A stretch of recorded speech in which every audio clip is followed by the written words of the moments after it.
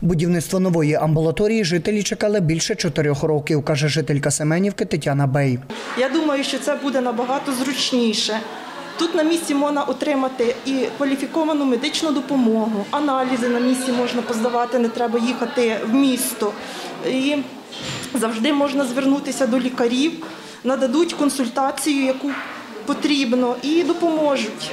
У амбулаторії будуть обслуговувати понад 5 тисяч громадян, розповідає сімейний лікар Юрій Слюсар. Збудували нам гарну нову амбулаторію, і завдяки е, чому можна буде надавати якісну медичну допомогу, тому що ми забезпечені всім самим необхідним. Ми маємо обладнання, ми маємо е, місце для лікування і рівень медичної допомоги буде тільки покращуватися. Маємо нове обладнання, яке набагато покращить якість надання первинної медичної допомоги.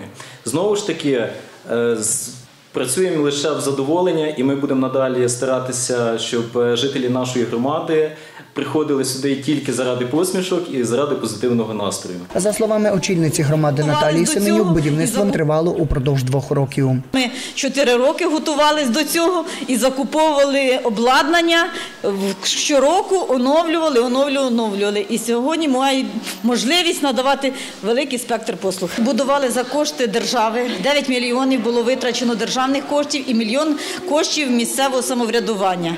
Будівництво тривало майже два роки. І сьогодні ми маємо прекрасний об'єкт, який буде слугувати людям. Буде в ньому люди будуть отримувати медичні послуги і оснащений він самим сучасною технікою. Сергій Косюченко, Віктор Підвисоцький. Новини на Суспільному.